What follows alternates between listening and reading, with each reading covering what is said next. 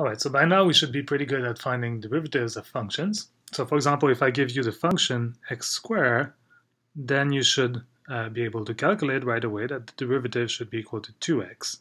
This is just a simple application of the power rule.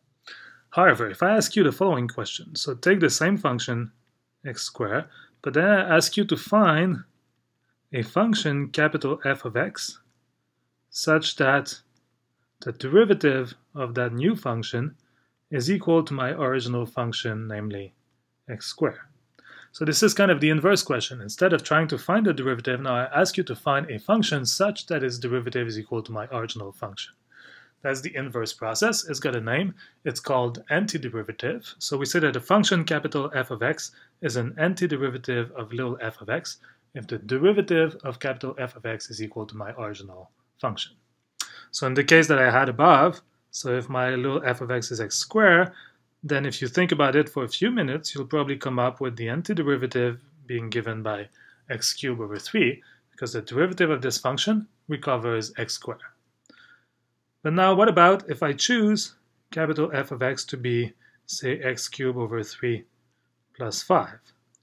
Well, if I take the derivative of that function, I'll still get x squared because the derivative of a constant is 0.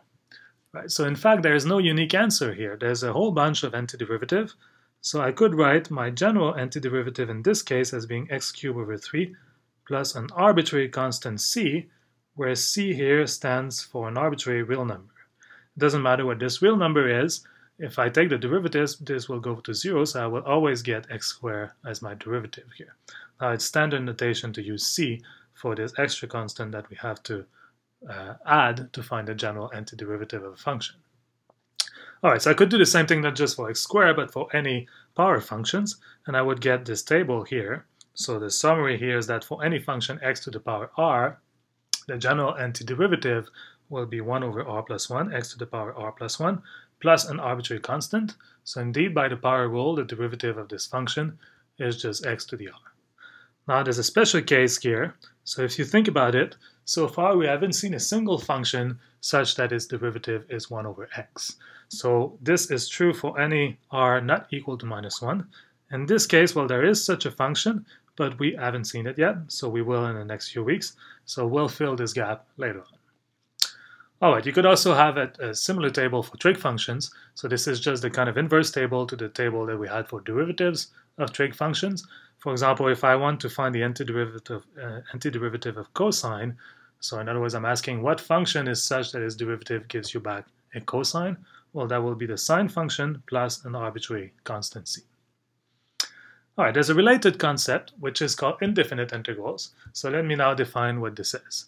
So if you are given an antiderivative capital f of x, so a function such that its derivative is f of x, then we write the indefinite integral of f of x dx is equal to capital F of x plus c, and we call this symbol here indefinite integral of the function f of x.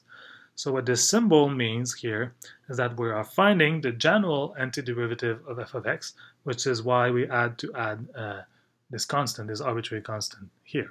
So this is just the inverse symbol, if you wish, as the symbol ddx of f of x, which was uh, which meant finding the derivative of our function. This means finding the general antiderivative of the function. Now it's important that you're not confused and you do not confuse the symbol with the symbol for definite integrals. So this is different from what we saw in week two. We called uh, that definite integral. So in terms of symbol,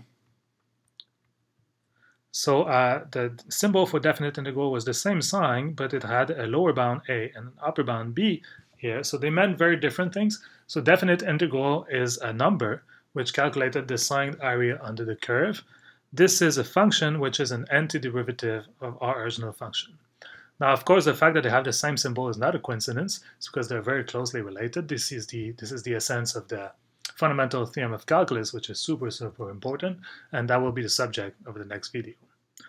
All right, but for now, let me just calculate a few uh, indefinite integrals and see how that goes.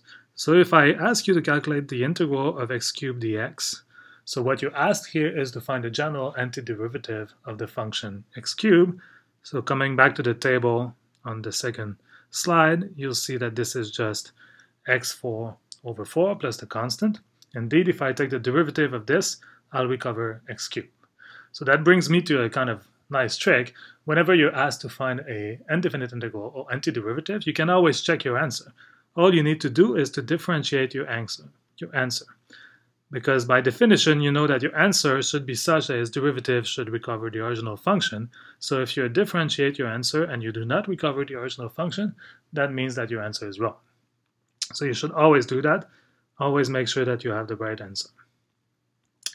Other important thing is do not forget the constant. This is very important here. This constant, we call it constant of integration, is actually very important because this stands for the general antiderivative. So you need to have this arbitrary constant here. Okay, so let me give you two more examples. So suppose that I give you, ask you to integrate the following function. Now, in the next few weeks, we'll see lots of uh, techniques on how to perform these integrals. Right now, we haven't seen any techniques. All we can do is really guess the answer. So use our knowledge of the rules for differentiation to guess what function is such that its derivative gives you back the uh, function in the integral. So this looks like a complicated function, but if I rewrite it, so I'm just going to divide by t to the 3 half, and I'll get this for my function, then it looks a little bit easier. I can use the table in the second slide to find a function such as derivative of this. And you can convince yourself that if you write the following function, let's see, so that should be 1 over minus 1 half t to the minus 1 half plus a constant. So this function is such that its derivative recovers the original function. Take the derivative, here you get the 1 half will cancel and you get t to the minus 1 half. Here the minus 1 half will cancel and you get t to the minus 3 half. And you could simplify this answer and rewrite it as follows. Right, so that would be the general antiderivative of your original function. All right, so let me give you one last example involving trig function. Suppose that I ask you to find the general antiderivative or the indefinite integral of cosine of 2x.